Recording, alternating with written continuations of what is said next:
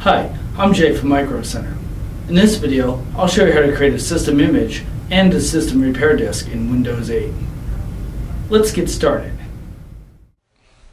To create a system repair disk or a system image, just bring your mouse to the bottom right hand corner, right click, click on control panel.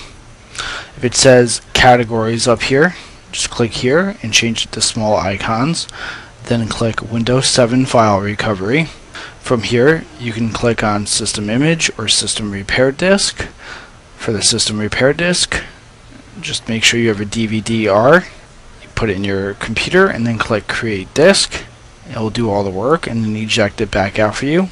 That's how you can reload your operating system. And to back up your files, just click Create a System Image. It will look for backup devices and you can select the one you have that should be an external hard drive about the same size as the hard drive on your computer. You would select that and then click Next. And that's how you create a system image or recovery drive for your computer. Make sure to check out microcentertech.com for articles, videos, and how-tos, and also check out our no-wait chat at chat.microcentertech.com.